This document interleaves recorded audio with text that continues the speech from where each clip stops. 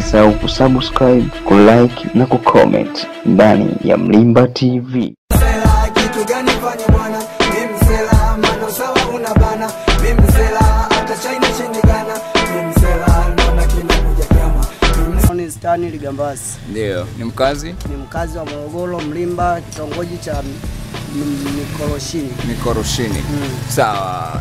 Uh, unajishughulisha na nini zaidi? Najishughulisha na ufundi wa pikipiki Sawa, ufundi wa pikipiki. eh, Sawa, kupitia kipindi cha hashtag Msela kupitia Mlimba TV channel Mlimba TV uh, leo tumekutembelea katika ofisi yako, labda tunapata, tunapenda kujua uh, Filmon kaanza lini kazi hii mishe hii ya kutengeneza pikipiki uh, na changamoto ambazo anapitia kwenye kazi yake na kadhalika.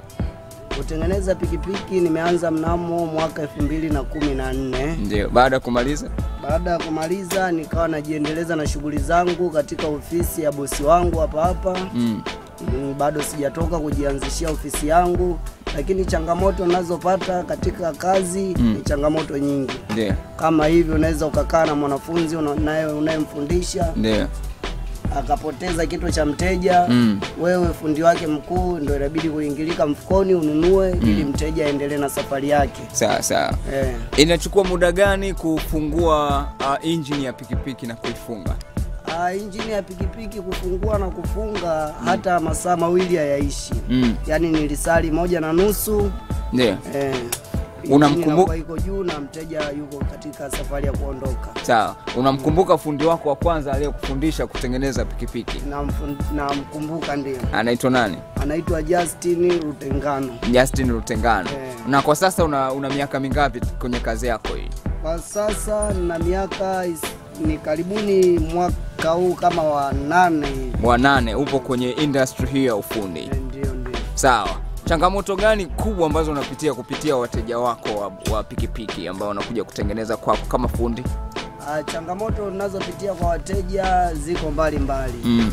Kuna mwingine unaweza ukamfanyia kazi, lakini utakuta unavyomfanyia kazi yeye yuko miguuni kwako, anakufosi ufanye kazi, wewe unafanya hivi, anakuwa anakuelekeza hivi. yeah. Kwa hiyo kwa sababu binadamu wote hatujakamilika, basi Mm. unaendelea sawa hivyo hivyo, unammalizia kazi yake vizuri, mnalipana, anaondoka. Sawa. Kwa mfano hapo unatengeneza nini sasa? Hii nilishusha engine Ndio. crankshaft ilikuwa imejaa, maana ilitembea bila oili Ndio. e, kwa hiyo hapa nimeifungua, madogo ameiosha kwa hiyo saizi mimi ndo nairudishia. Sawa sawa. Mm. Kama fundi unawapa wito gani watu ambao wanamiliki pikipiki? Kitu gani cha kwanza kabla wajaanza safari wanatakiwa wa, wa, wa, wa, wacheki kitu gani katika injini na eh, pikipiki kwa ujumla?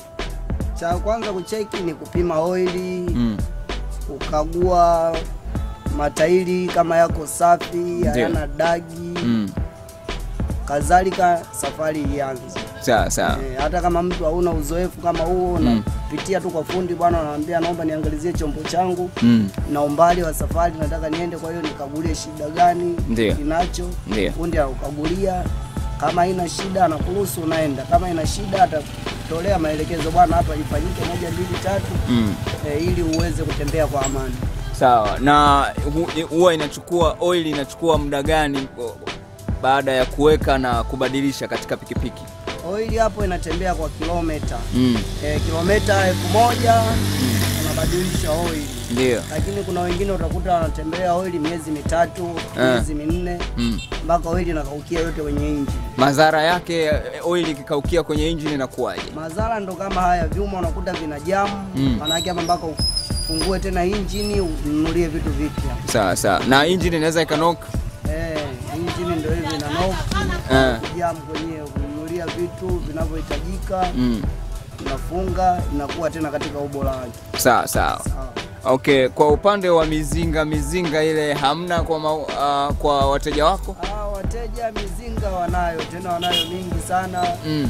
unaweza akakwambia bwana, naomba akachukulie spare. Ukishafunga uje nikabidhi chombo, unaenda unamkabidhi, lakini hela inakuwa utata bwana, subiria baada ya siku mbili. yeah. Unakuta wewe tena na mwenye duka mnaanza kujiana juu, "Oh, bwana kanizulumu bwana, iko hivi Mm.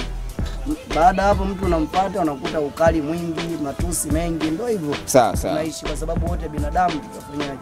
Sawa. Nini malengo yako ya baadaye kupitia kazi yako ya ufundi wa pikipiki? Malengo yangu mimi niwe na maisha mazuri Mm. niwe na nyumba nzuri Mm. na hivyo familia ya kuendeleza kiujumla. Sawa. Hujafikiria kuhusu kujiendeleza, labda kwenda VETA vile upate gamba na vitu vingine? Ah, VETA huko tutafika tu, kwa sababu ukishatoka hatua hii, ukishavuka kidogo, angalau ukiwa na uweni wa maisha Mm. ndio unafikiria kupiga hatua niende sehemu nyingine, aidha gereji ya magari kubwa Mm. mjini Mono, Sawa. Ukale kale kozi na mambo mengine yaendelee. Sawa. Kwa kijana ambaye hana misho yoyote, anahitaji kujiingiza kwenye hii shughuli ya kutengeneza pikipiki almaarufu kama bodaboda, wewe unamshauri kitu gani? Aanze kufanya nini ili na afikie malengo kama yako ambayo unaweza kufungua injini na bila matatizo yoyote? Yeye awe serious tu kwenye kazi, kama anataka kujifunza atafute chuo chochote cha ufundi Mm. aende atapata maelekezo, bwana, taratibu za hapa ziko vipi, au hada za hapa ziko vipi. Ndio. Unaona, Mm. ataingia kama yuko serious kwenye kazi, ndani ya miaka miwili mitatu Mm. anakuwa yuko vizuri. Sawa. Mm. Tunaona mafundi wa magari wana testi magari hivi, mm. inaweza katokea kwamba ukawa fundi wa bodaboda alafu hujui kuendesha bodaboda? hiyo uh, inategemeana, lakini kwa fundi wa sasa Mm. fundi anaanza kujua pikipiki yeah. kabla ya kufunga injini. Sawa sawa. Mm. Una wito gani kwa serikali juu ya mafundi ninyi ambao hamna, yani mna ujuzi huu wa kutengeneza lakini hamna uh, vyeti na vitu vingine, wafanye nini serikali? ombi langu kwa serikali labda wangeweza kutusogezea tu huduma jirani Mm. ili tuweze kupata hivyo vitu, Kwa mfano vyuo yeah. na Eh. kadhalika. sababu mtu unaweza kufikiria nitoke hapa, makazi yangu yapo hapa, niende labda ifakala kuanza maisha, inakuwa tena ni changamoto kubwa Mm, au Mikumi. e, inakuwa ni shida zaidi. Sawa, Kwa sawa. hiyo serikali wajitahidi kutusogezea Mm. kazi nyingine jirani, ili watu tuweze kujiendeleza na vitu vingine. Sawa, unawaambia nini vijana ambao hawajishughulishi na misho yoyote hapa hapa Mlimba na Tanzania kwa ujumla? Wafanye nini vijana? wajitahidi wajitahidi zaidi kujishikiza katika maeneo ya kazi mbalimbali mbali. Mm. Kazi zipo nyingi, Sawa. Kuna fundi pikipiki Mm. Uwezi fundi pikipiki hata kushona tu, unaweza ukakaa kijana ukajifunza ukawa unawatoa watu suti safi, wanapendeza, wanaenda kwenye shughuli zao. Ndio. Lakini kijana anaona kazi ya kukaa kuchafuka, anaona shida kwa upande wake. Mm. Sasa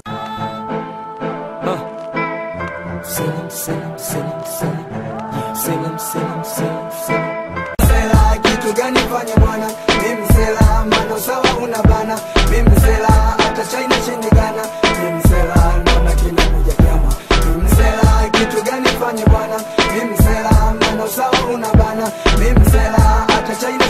Guaraná.